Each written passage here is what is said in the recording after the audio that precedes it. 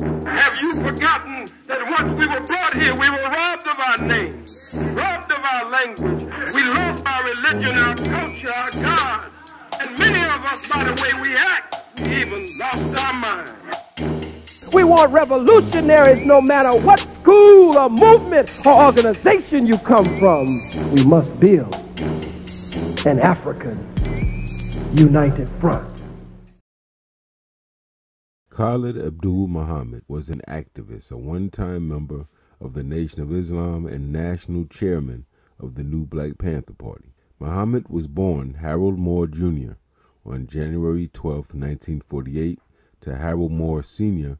and Lottie B. Moore in Houston, Texas. Moore's aunt, Carrie Moore Van, raised him while living in Houston, where he attended Phillis Wheatley High School. After graduating from high school in 1966, Moore enrolled in Dillard University, located in New Orleans, Louisiana, to pursue a degree in theological studies, but he didn't finish that degree. While attending Dillard University in 1970, Moore heard a speech by Louis Farrakhan, who was at the time national representative of the Nation of Islam. After hearing Minister Farrakhan's speech, Moore joined the Nation of Islam and changed his name first to Harold X then to Malik Rushideen. He eventually became Farrakhan's protege, helping to bring new recruits to the Nation of Islam. Muhammad later received his Bachelor of Arts degree from Pepperdine University in Los Angeles, California. In 1978, he was appointed Western Regional Minister of the Nation of Islam and leader of Mosque number 27 in Los Angeles. In 1983, Farrakhan changed his name to Khalid after the Islamic general Khalid ibn al-Walid.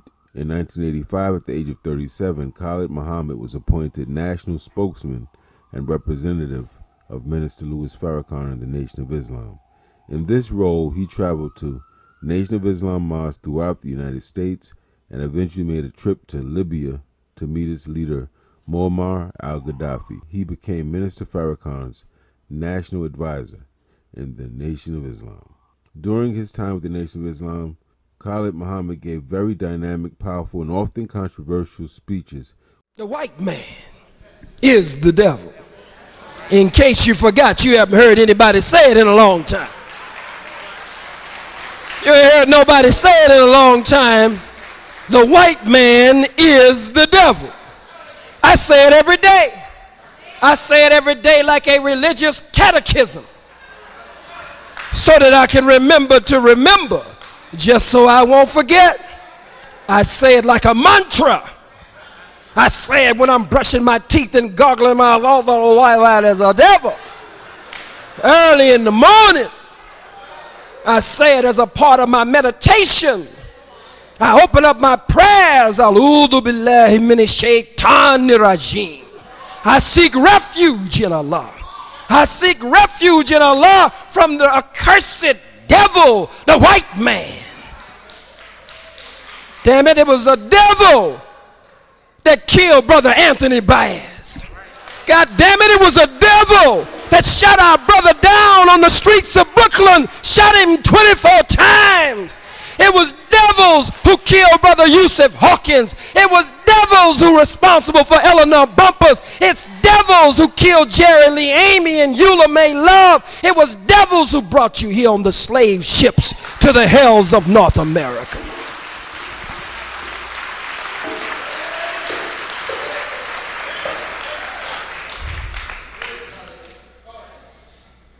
You better remind yourself every day.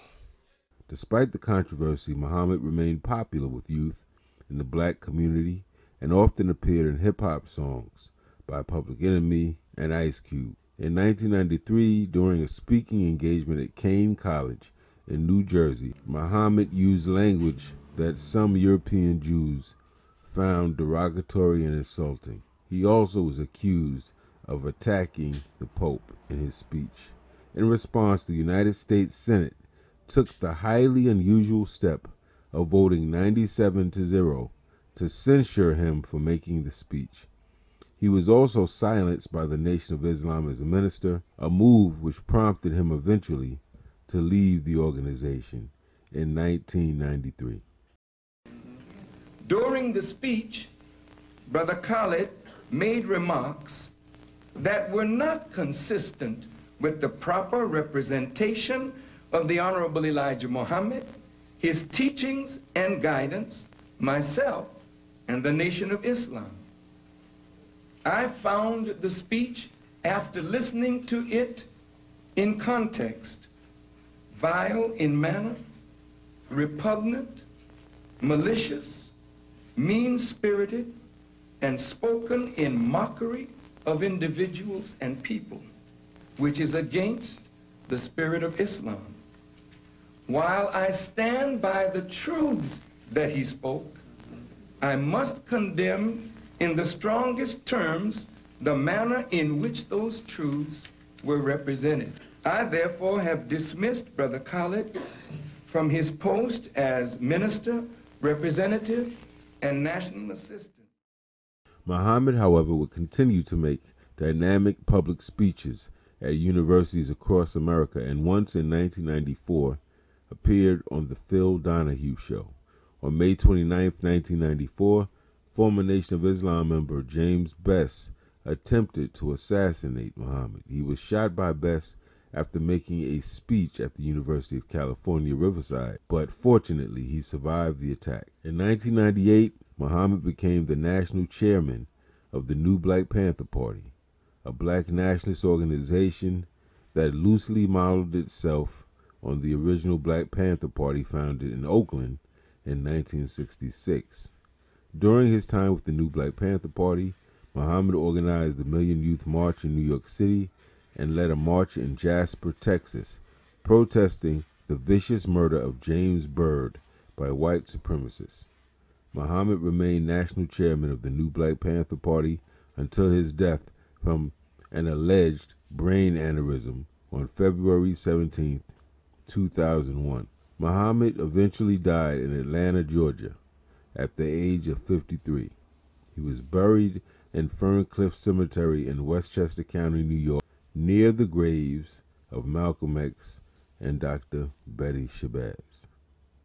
On a personal note, Brother Khalid Muhammad was one of my own personal jegnas. I first met Brother Khalid when I was a president of the Black Student Union at Syracuse University.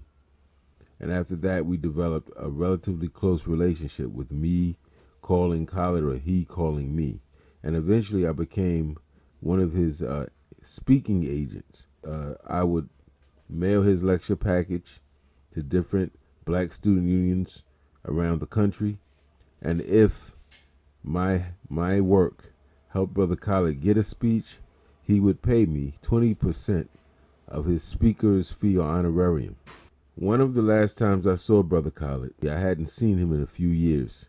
He asked me, Peace, brother. What organization are you in, or what organization have you started? When I began to tell him that I was a teacher and we started a school, he stopped me mid sentence and he said, Brother, you have far too many skills and way too much knowledge just to be teaching. I didn't ask you what you did for a living anyway. I asked you what organization were you in. That was Brother Khalid's way. Raw, upfront, take no prisoners. After that, Brother Khalid urged me and insisted that I join an organization or start one. He invited me to a speech he was delivering at the famous Harriet Tubman School in Harlem, New York. I attended that speech, and that was the last speech I would have heard from him and the last time I saw him because not more than two weeks after that I received news that Brother Khalid Muhammad had died. Khalid Abdul Muhammad, Black Power General, Pan African Revolutionary, master of various schools of thought as relates to consciousness.